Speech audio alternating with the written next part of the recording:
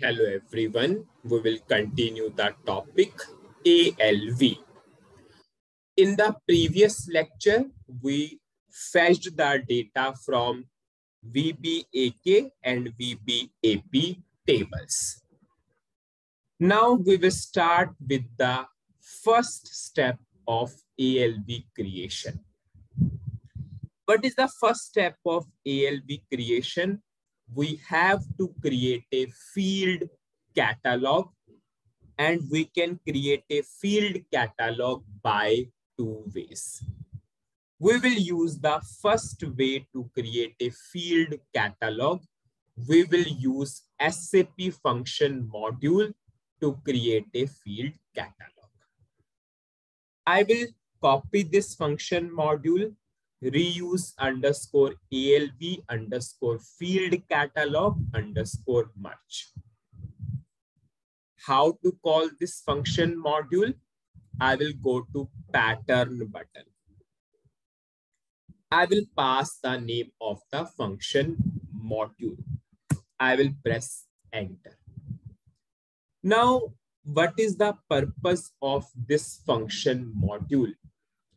It will generate a field catalog. It will return the field catalog to us. SAP will return the field catalog. How this function module is working. What this function module is saying, pass me the columns. I will generate a field catalog for you, but you have to pass the columns in the form of a structure. So we will create a structure. We will pass the structure to this function module and it will return a field catalog to us. Now, we require total one, two, three, four, five, six, seven columns in the output. We will not take VBELN again because we have already taken from the VBAK table. So total, we will display seven columns in the output. So we will create a structure of seven columns. Whenever we will pass the structure of seven columns to this SAP function module, it will return the field catalog to us. So our task is only to pass the structure to this function module. It will automatically return the field catalog to us. So I will create a structure. I will go to SE11 transaction code and we will create a structure of seven columns which are required in the output. I will choose the third radio button. I will create a structure. I will click on to create button, structure. I will say, I'll give that description, sales structure. Now I will pass the seven columns. We'll simply do the copy paste. Five from first and two from second. VBELN type data element ERDAT type ERDAT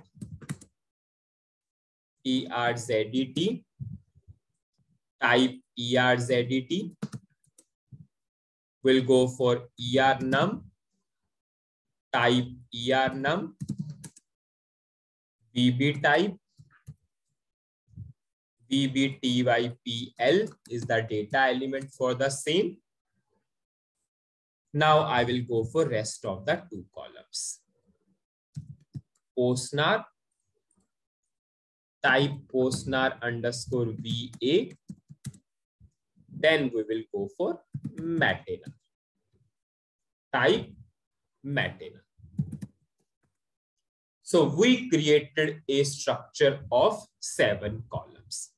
I will save this structure and I will activate this structure. Now I will pass this structure to this SAP function module. I will uncomment exporting. I will uncomment I underscore structure name and I will pass the name of the structure. Now it will return the field catalog to us means CT field cat will return to our local internal table. Suppose I gave the name LT underscore field cat. SAP best practices, we should always, always uncomment the exceptions.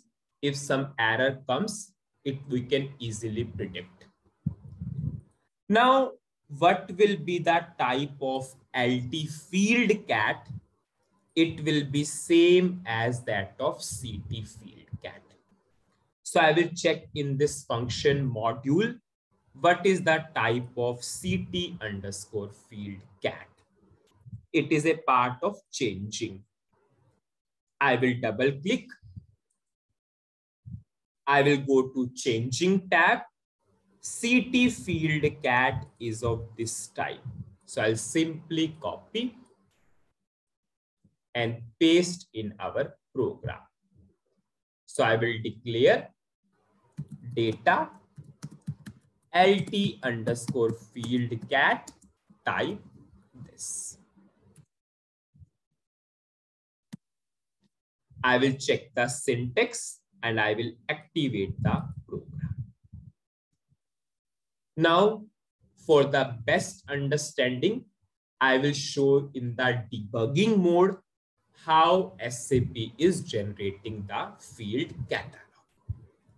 I'll put the breakpoint on this function module. I will give the input. I will take the input from the table. I will go to VBAK table. Suppose I will take some input.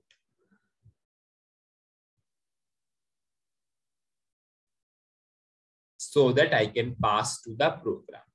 Okay, I will take this. I will go for execute. Now, this function module will take the structure of seven columns. It will return the field catalog.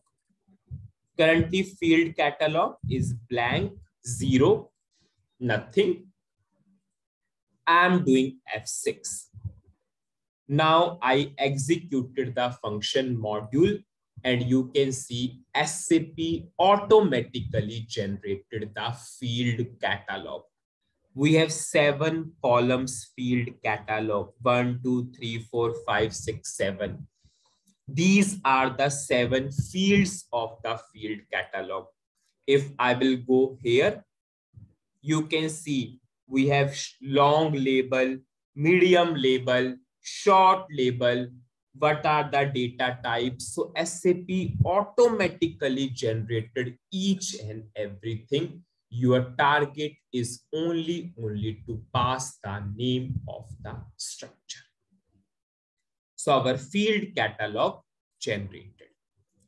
Now, what is our next target? Next target our next target is we have to bind our data with the field catalog.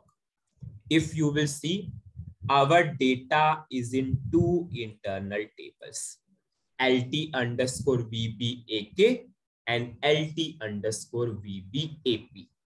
We have to bind this data with our field catalog lt underscore field cat and how we will bind with the help of any of these ways. That part we will continue in the next video. Thank you.